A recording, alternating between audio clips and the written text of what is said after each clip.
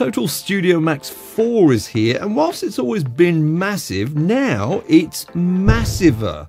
That's a word. Hi, folks, I'm Mike and I hope you will. Total Studio Max 4 is a huge plugin bundle from IK Multimedia, which includes audio production plugins, virtual instruments, and some great things for guitarists as well. Later on, I'm going to be asking, well, should you buy it? If you already own it, should you upgrade? And also, how does it compare to Komplete 14. Now, full disclosure, they did send me this product to try out, but I wasn't even required to make a video, let alone say anything specific, and I'm not getting paid, so these opinions are all my own. However, this video is being sponsored by DistroKid. If you follow my VIP link in the description down below, you'll get 7% off an already amazing price to distribute your music. Now, I want to delve into what's included with Total Studio Max 4 as well as what's new, starting off with the audio production plugins. Included with the plugins is one of the most impressive plugin suites around, T-RackS 5 Max version 2. Honestly, this includes some of my favorite plugins which I use in many of my productions. There are EQs, compressors, reverbs, delays, tape emulators, channel strips, and some of them are modeled on absolute classics like the White 2A and Black 76. New New to this collection, we have the Farm Stone Room, a drum room sound made famous by Phil Collins in the air tonight and now ready as a plug-in sound. Also new is Joe Chiccarelli's vocal strip. I've only had a quick play with this, but I'm already impressed with the really analog sound that you get. And they've also added Fame Studio Reverb for some really classic room sounds. Apart from T-RackS, we also have Mixbox, an effects rack which includes simplified versions of 70 effects from T-RackS, Amplitube, and Sample Tank.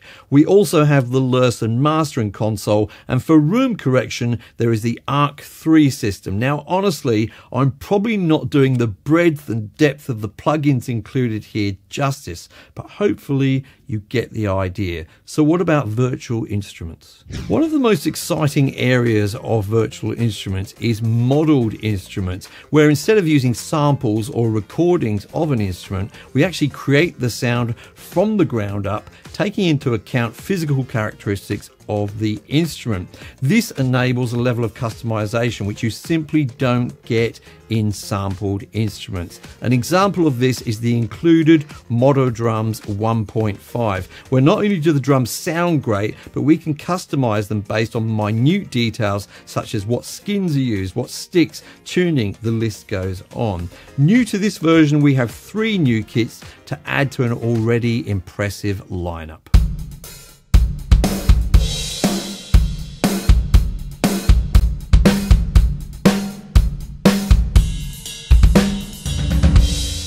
Much like Modo drums, Modo Bass 2 is also a modelled instrument with all the flexibility that implies. And to be honest, for me, it's one of the most authentic sounding basses out there.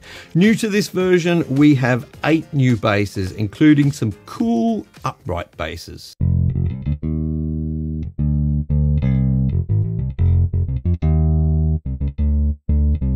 To expand our virtual instrument collection immensely, we have Sample Tank 4, a massive 600 gigabytes of pianos, synths, guitars, basses, percussion, orchestral instruments, and, well, you get the picture. We also have the Hammond B3X, full of that authentic B3 loveliness, and Leslie speakers. And if synths is more your thing, Syntronik 2 gives you a wonderful collection of classics, including 12 new ones for this version. And for something a little bit more quirky, we have the Sampletron 2, a Mellotron type instrument full of them perfect imperfections.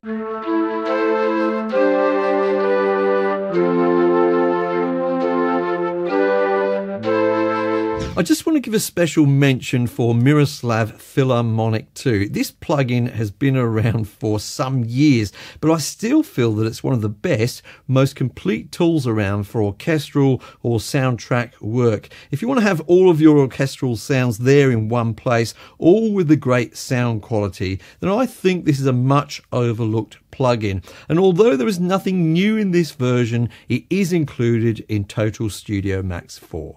In a moment, we're going to take a look at the incredible plugins included for guitarists. But before we do that, I just want to remind you about how easy it is to distribute your music through our sponsor, DistroKid. By using DistroKid, you get to release your music directly to some of the best platforms on the planet. We're talking Spotify, iTunes, TikTok, Amazon, you know, all of the household names. And you don't need to open any accounts there because DistroKid does all of that for you. Now, once you've created your master and your album artwork, it's as easy as filling in a friendly form, uploading them, and DistroKid takes care of the rest all for one flat annual fee, and DistroKid takes none of your royalties. Sign up with my VIP link in the description, and you'll get an extra 7% off.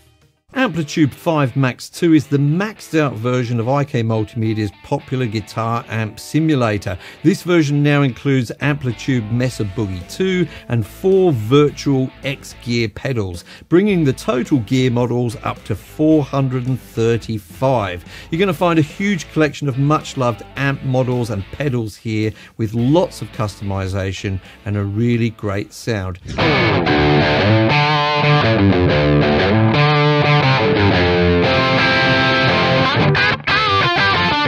It also now has seamless integration with something which has created quite a buzz in the last few months Tonex. Newly included is the Max version of Tonex, a guitar amp, cabinet, and pedal modeling system. Not only can you capture your own gear with Tonex, making it more convenient to use any time of day in any place, but you can also choose from the 1000 tone models included, as well as the user models on ToneNet.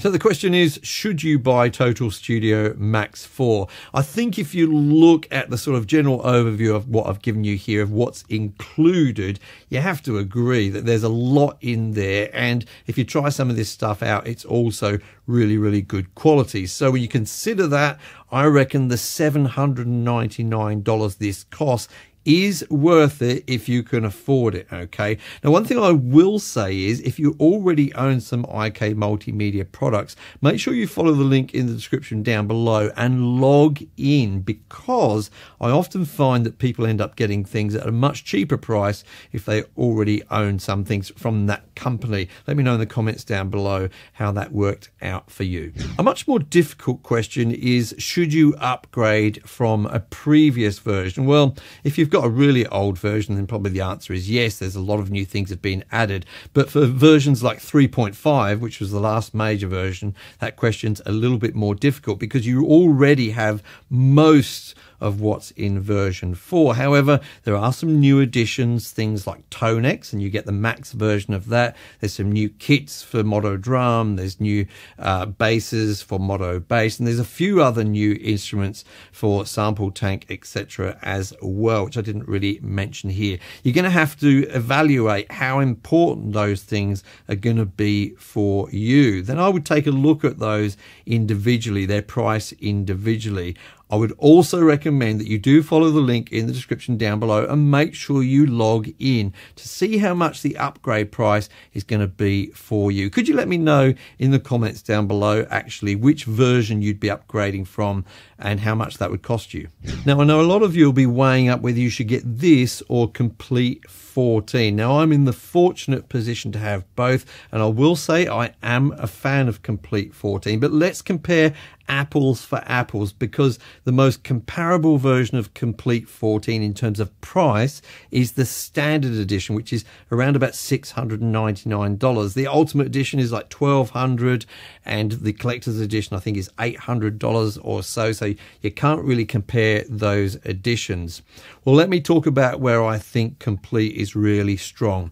And I'd say it's strong in terms of virtual instruments, okay? They have a great range, they're great quality, and I just think they're designed generally very, very well. That's not to say that they sort of beat Total Studio Max in all areas with this because I do think those modeled instruments, bass, drums, etc., with Total Studio Max are very, very good. But overall, I would say that Komplete is more of a thing for people who are heavily into composition. It's not very strong in terms of um, audio production plugins, okay? Definitely, I think Total Studio Max is a little bit stronger in that area. And finally, if you're a guitarist and you want to use effects for electric guitar, then Total Studio Max really does beat Komplete in this area. The only comparable thing is Guitar Rig, and honestly, I don't think it comes anywhere near close. It's not the same at all. If you want to get more of a feel of what's so good about modeled instruments, I recommend you watch this video here. I made this about Modo drums. Take a look.